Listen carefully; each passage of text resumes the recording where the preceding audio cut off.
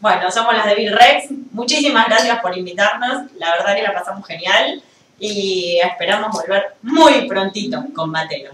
Lo mismo digo, mi nombre es Sonia, ella es Laura. Ah, yo era Laura, sí. Tamara, Tamara.